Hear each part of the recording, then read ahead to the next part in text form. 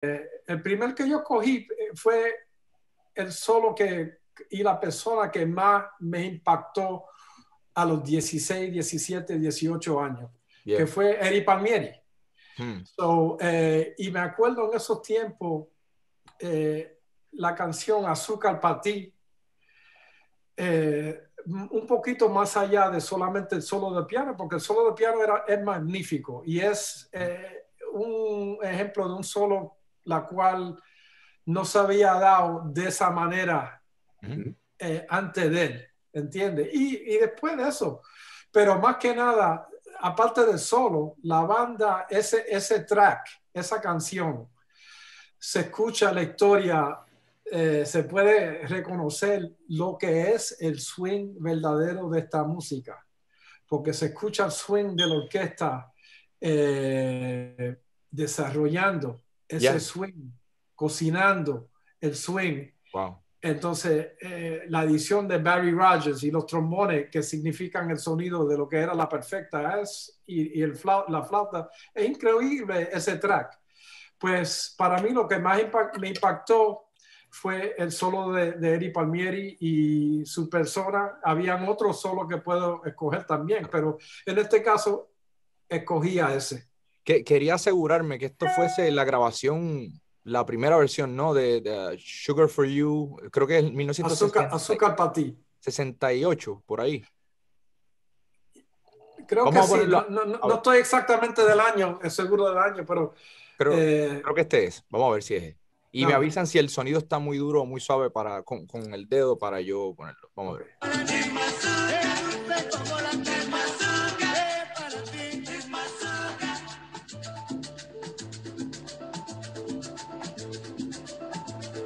A left hand, baby. it's not easy, bro.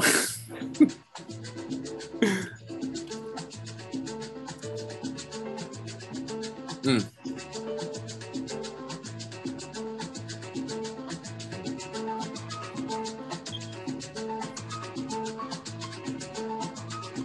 It's so tasty. It's funky. It's funky. It's tasty. And you got the engine right under with the Montuno. Yeah. You know, it's not nothing just, you know, it's just still going. I've seen so many dancer choreographies to this song and to this solo. Like solo well, dancers. You know what? what brings to mind to me is during those days, I would go to a, a club and people would be lost dancing to this track. You could see couples, and it wasn't about show. You know, like the dances now in Salsa Congress is strictly about groove. Mm-hmm. The couples were just grooving, and you could feel the band cooking. That's amazing. Amazing. Because you know, salsa dancing is now a completely different thing from when I grew up. Hmm. You know, it was all about la pareja, the groove, you know, uh, the girl, the girl, the guy. Now it's about, you know, sport. It's a sport. Yeah, absolutely. The way Bobby changes on the bass and takes the band in a different direction is amazing. You know what's funny? I remember years ago, he did a gig with, with Andy Gonzalez for his birthday. Hmm. And we had to rehearse a song, um, Descarga Cachao, which is the same key. Right. And we're, we're, we're at the radio station and he starts, he's like, okay, let's, let's practice the song. So he starts, boom, mm, mm, mm, right? The band is cooking. Nelson's on guitar. And bro, he made me practice my piano solo like eight times. Hmm he, he stop Andy would stop the band. No, no, no, let's try it again, Jason. Andy was like my teacher. Wow. And and then one thing he was telling he was like, I was big into Kenny Kirkland. You know, Kenny Kirkland era como mm-hmm. tenía tanto impacto en mí como como jazzista, and I was trying to find that bridge between jazz and salsa. Anyways, he would he told me he's like, no, you got to think like Eddie. Don't go against the rhythm. Go, you have to float on top. That's crazy. You have to, I'm like, and I'm like, what does that mean? what does that mean? Right what does that mean? You know, but but I, you know, but I, but if you listen to Eddie solo on this, mm-hmm. you know what I mean. I get it because he's he's holding on a tumbao, which most people overdub. He didn't overdub. He did that right then and there, one shot. Hmm. You know, claro. And and he's having the and he's keeping that that that trance going What? and all Yeah. he's doing is floating on top of the right, and and it's you know that essentially I think that's what Andy meant, and that's why so many people love Eddie because he has this way of Mhm. keeping the groove, but it's it's incredible. Well, the beauty about this track is that the band is just you say trance, so it had like a trance-like effect. This particular track, because it's just you know that montura, and you could see. I remember people just getting because it was an eight-minute track, which was unheard of. Yeah, That was unheard of in those days. But live at a club, people would just get lost dancing, and then the band starts to groove, and it's cooking. You hit, you feel it simmering, and then it goes boom. It takes another step. Then they take it back down. They take it even higher. So, the the, the groove on this track, you could make a whole study about you know what the groove is in terms of salsa just using this Yeah. track if you wanted to i Yeah. mean it's pretty amazing and and i i, I would behoove people who are interested just to listen to this track beginning to end and listen to how the dynamics and the flow of that groove are demonstrated in many aspects you know the bass the percussion the trombone and of course eddie himself with the solo who lays it who sets it he sets it all up first Sí. and then it just takes off from there That's it. it's amazing That's it. Definitivamente, y y me acuerdo que este tema a cada rato lo tocamos con John Dandy Rodríguez, con el, con el Dream Team. Ya hubiese estado Arturo en el piano o Jason, y a pesar de que obviamente hay libertad para que ustedes hagan su propio solo, siempre habían cositas, ya haya sido al principio o al final del solo, que Dandy siempre decía, no, hazlo así, y especialmente él siempre quería que el pianista al final del solo metiera el... Y ahí, ahí Jerry cambiaba. tum, tum, tum, tum. Y ahí yo empezaba el solo de flauta o el solista que, que, que- que- Entonces, a pesar de que todo el mundo solea en esa canción, siempre cada pianista que pasa por ahí añade un poquito de la... de- es- así de poderoso fue la influencia de Palmieri, me imagino, en cada uno de ustedes. Y Jason, ya que estabas hablando, vamos al, rápido al número 9, que lo tengo aquí. ¿Quieres, ¿quieres anunciarlo tú? Yeah. Uh, is that the Eddie Palmieri? La canción de Eddie. No, el, el primer, la primera opción que tú me diste fue Azuquita Mami. Ah, Suquita, mami. Hey, ¿te gusta el contenido que estás viendo? ¿Te gustaría mantenerte al día con todo lo que está pasando? Pues te invito a que te suscribas a mi canal. Simplemente oprime la campanita para recibir notificaciones cada vez que publiquemos nuevo contenido. Ahora, de vuelta a la conversación. Azuquita, mami. I mean, para mí, we were talking about this earlier, que la grabación que me, que me hizo decidir que yo quiero tocar salsa Ujú. fue la grabación de la Fania All Stars en Puerto Rico. Nice. El know- 92, ¿no? 92. algo así. Hector just died. Yeah. So, Este es el solo was- de Papo en, en Azuquita Mami con Peter Conde en ese concierto específicamente. all that. Todo, todo la, todos los solos, I mean, they influenced me. Larry, Eddie, Papo, pero el que me tocó fue Papo, esa canción. Brutal. Azuquita Mami. Vamos a ver, vamos a ponerlo. There you go. Muere de corazón por ti. ¿Lo guapea. Con ustedes, Paco, Luca.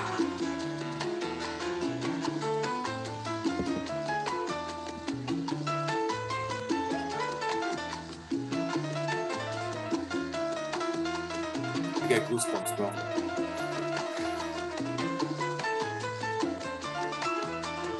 Yeah.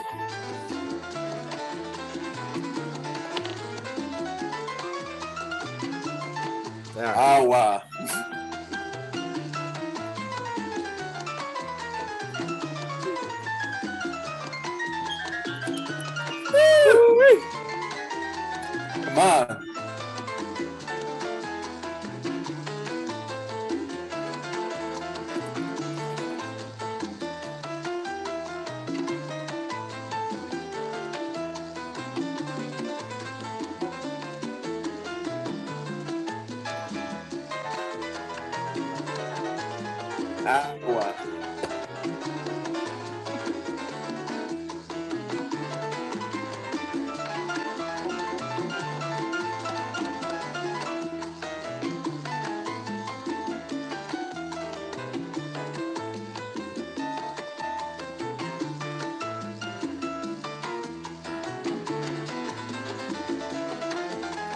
Como un lenguaje interminable. man. And it keeps on going. Increíble. Bueno, les recomiendo eso. eh, esto es, bueno, lo encontré en YouTube, pero estamos hablando del concierto de la Fania en Puerto Rico en el 92, por ahí, del el solo de, de Papo. En el Coliseo, right? Ah, En el Coliseo, creo que debe haber en Puerto sido Rico. De Puerto Rico. Pero bueno, increíble. Ese, ese concierto entero, estábamos hablando por el teléfono hace un rato, Jason, de que para mí también, a mí me impactó mucho por el área de Cheo en, en cuanto a la versión de Busca Mm. lo tuyo, que para mí es la mejor versión, porque estaba Barreto y, y es que toda la comunicación, todo lo que pasó en esa canción para mí fue increíble. Eh, Mm. Eddie, eso. Pero bueno. eh, si brincamos el número 8, Arturo, eh, ¿lo tienes por ahí o quieres que yo lo diga? Eh, lo tengo. Ajá, chévere. Número 8. Eh, bueno, em, primero que nada, em, voy a decir de que probablemente a diferencia de Oscar y de Jason, em, yo realmente no acostumbro a enfocar demasiado en ninguna canción y en ningún solo en particular. Eh, yo acostumbro a, a oír todo de una manera casual y es bien rara la vez que, que yo realmente me siente a tratar de mirar algo en detalle, am, porque prefiero simplemente, em, eh, como quien dice, adquirir lo que pueda adquirir naturalmente. Ya.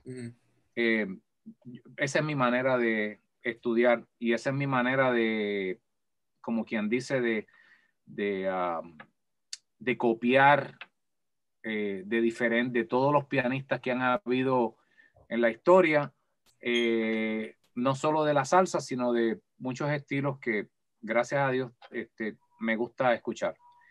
Eh, sin lugar a dudas, y debo decir esto,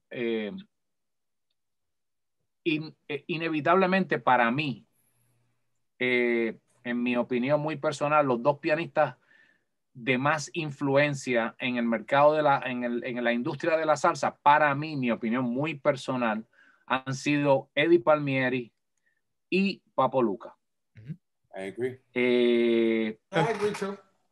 you know, simplemente porque estas dos personas tienen estilos totalmente diferentes, pero han logrado que su voz sea eh, distinguida. Su voz se puede distinguir. Cuando uno oye una canción donde Papo está tocando, uno sabe que es Papo.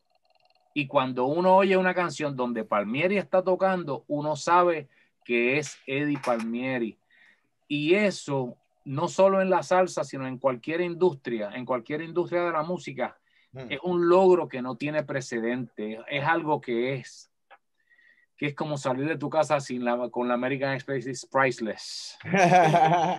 O sea, o sea, tú no puedes ponerle un precio a eso. Este, pero eh, so, estoy haciendo hincapié en, en esa opinión mía muy personal, ya que eh, yo escogí otras, otras canciones eh, que simplemente me llamaron la atención en cierta época de mi crecimiento, que era cuando, cuando estaba joven este, cuando estaba comenzando a tocar, y una de ellas eh, es eh, Los Rumberos, de un pianista que se llamaba Marcolino Dimond.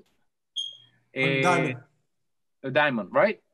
Eh, y, y, eh, de un disco que grabó con Frankie Dante, y la canción se llama Los Rumberos. Brutal. Eh, propuse esta canción porque Marcolino es una persona que pasó por la industria de la salsa, pero no estuvo, no, no tuvo la suerte de estar la cantidad de tiempo que ha podido estar Papo Luca ni ha estado Eddie Palmieri, gracias a Dios, por, por circunstancias de la vida este, y situaciones eh, en las cuales no tengo que entrar en detalle simplemente, eh, pero Marcolino eh, en su tiempo y lo que hizo fue sobresaliente.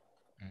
y fue sobresaliente porque hasta cierto punto me parece que puede tener cosas de Papo Luca y puede tener cosas de Eddie Palmieri. Hay, hay algo en su manera de tocar que es primitivo y a la misma vez sofisticado. Yeah. Wow. Y, y por eso y por eso fue que escogí este tema. Así Correct me if I'm wrong. Isn't he Yeah. also the pianist on Jorge Saraway? On that piano solo. Eh, with, with Hector Lavoe. with Yeah. Héctor Lavoe, Yeah. I, you know what? I don't remember. I think he is. But Es the thing about the thing about Mark, because he was basically my era, is that uh, for me, it's, it's real evident the influence the influence of Eddie Palmieri in his playing. right? Oh yeah. Because Yes. he was he was very much a disciple of what Eddie was doing. Because Eddie was the focal point. Talking about the early '70s, Eddie was the focal point, piano wise, of what was happening. So you couldn't help but be influenced by him. I mean, I know I have certain influences, but but Marcolino was more evident. In other words, the influence to me when I hear him, you could hear the direct influence of, of Palmieri. Claro. Uh, and and Marco Marcolino, uh, for me, it was Mark. I mean, they called him Marcolino, but he was everybody was Mark Diamond. Okay. Uh, his he was like a, uh, a a blur that came in for you know the amount of six, seven, or eight years, and then you never heard from him again. But he had a lot of influence, and he did a lot of beautiful things, and he was a talent to be reckoned with. So Was he, was he Hispanic? You know what? I don't remember. I, yeah, I think he was. Uh, Okay. I, I, I don't remember, but I'm pretty sure there was some, you know, uh, Could he be I don't know. Panamanian, maybe? A lo mejor era panameño. no, no, me I thought I thought he was like Afro American, African American. You know what? I He, don't he know. might have been. He might have been half and half, but there, he definitely has some Latino in him. I don't Okay. remember. Uh, that's a be an interesting question, but I'd love to hear it. Play it. Uh, Sí, aquí, uh, aquí Jeremy. tenemos, aquí tenemos a los rumberos de Marcolino Diamond y, y Frankie Dante, que creo que el álbum se llama La Quinta de Beethoven, ¿no? Beethoven. Ajá, ajá. All right, here we go. Cantando creo que Ismael Quintana, si no me equivoco. Yeah, Oh no, Frankie No. Dante era cantante. Frankie Dante. Y, Oh, y- y- y era, era, era una, I hate to say it like this, una copia de Ismael Quintana. Yeah, Ah, Era-. Ismael era el ídolo de él. Ah, con razón. De hecho, en la portada dice Marcolino Diamond y, y Frankie Dante. Seguro.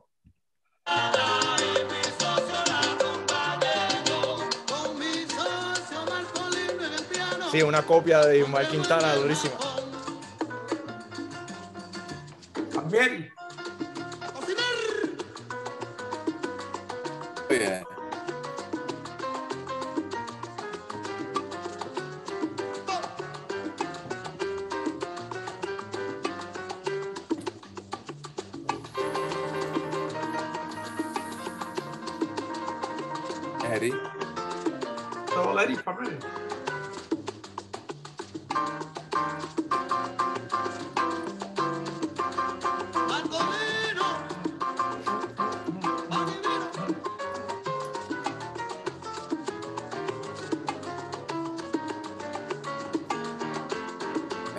Eddie, 100%. Yeah. Yeah, for sure.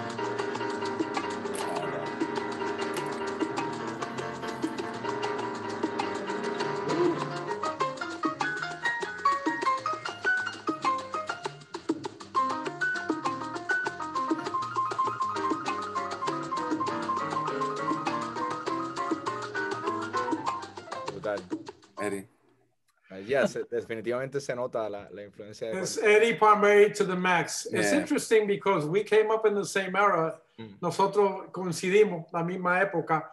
Brutal. Y aunque yo era súper fanático de Eddie, nunca, nunca decidí a copiarme de esa De manera. esa manera. bueno, Oscar, ya que estamos contigo, este, el número 7 Hola familia, si quieres ver el resto de este video te invito a que te unas a la ganga de Patreon.